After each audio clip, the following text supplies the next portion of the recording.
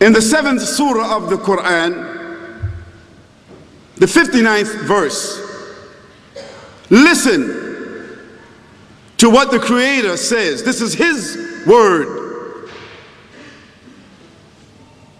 Listen to what He says about the creation, the origin of the creation of the heavens and the earth.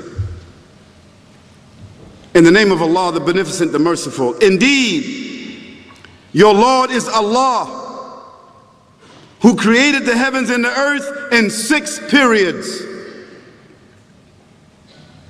and then established himself above the throne, the throne which is above the waters and above what we call space. He covers the night with the day, causing another night to chase it rapidly. And then he created the sun and the moon and the stars, and he subjected them by his command. Unquestionably, his is the creation, and he is the only creator, and his is the command and no one shares that command.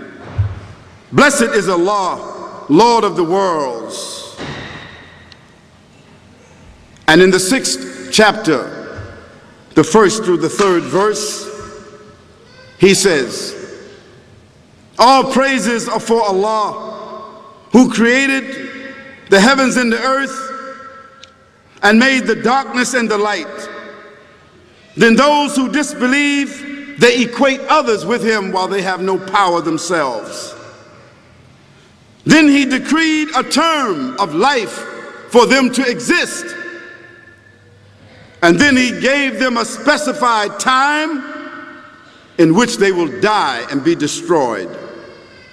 And that is all known to him. Then still,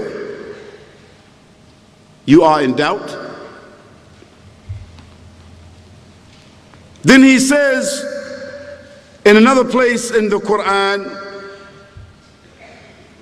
and please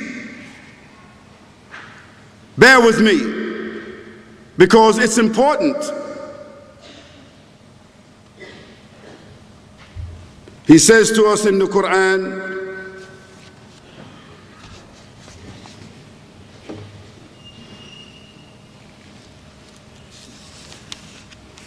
And certainly did we create man from an extract of clay. And then we placed him as a sperm drop in a firm lodging place called the womb. Then we made the sperm drop into a clinging clot of blood.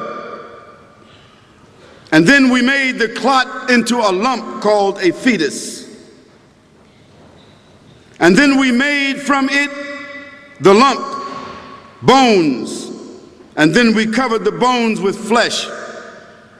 And then we developed him into another creation that you call the complete human being. So blessed is Allah, the best of creators. Then indeed, after all of that, so certainly you shall die. Then indeed, on that day of resurrection, a day about which there is no doubt, you'll come forth and be judged. And he says again to us in the Quran,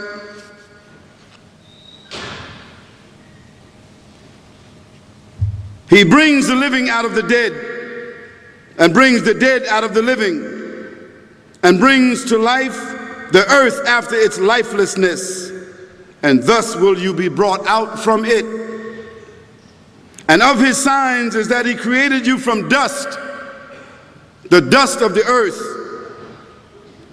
Then suddenly you were human beings, multiplying and dispersed through the earth.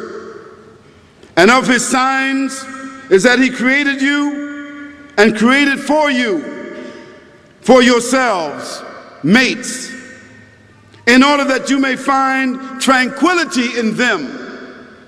husbands and wives.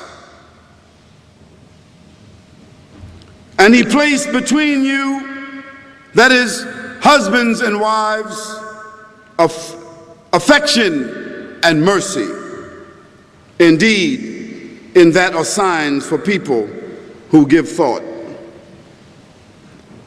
And of his signs is the creation of the heavens and the earth and the diversity of your languages and your colors. Indeed, in that are signs for those who have knowledge.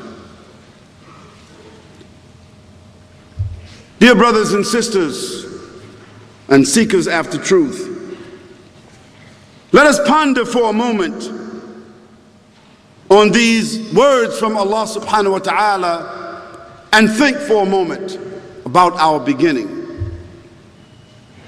Here in these verses, and mind you, these verses of the Quran are among 6,626 verses in its entirety that was revealed to a man who was illiterate,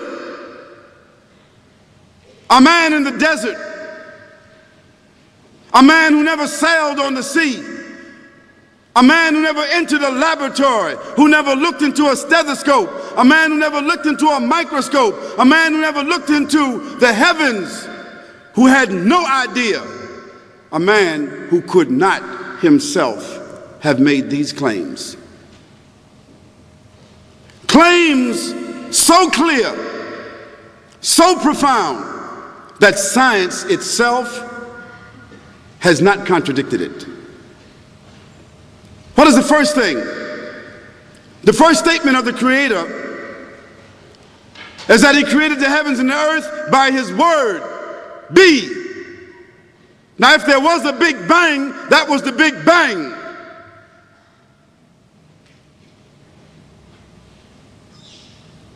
And He mentioned that He created the heavens and earth in six periods. That means that by his command, from the darkness, from the mass of what we call outer space, where there was no life, where there was no order, where there were no human beings, that creator brought the gases, brought the masses, brought them together, caused the explosion and through that explosion, our planetary system came into being with the sun as its gravitational center. That sun giving the heat, providing the gravity, and carrying the entire family with it in its own orbit within the Milky Way galaxy itself and the Milky Way galaxy itself only being a cluster of stars among another nebula.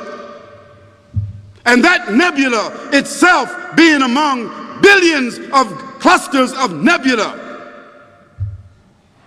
Yet, on our Earth is the only planet where this kind of life has been discovered.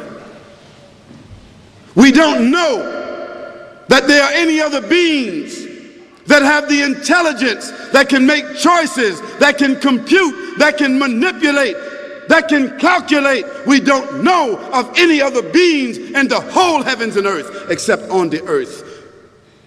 And isn't it fantastic that the earth is the third planet from the sun?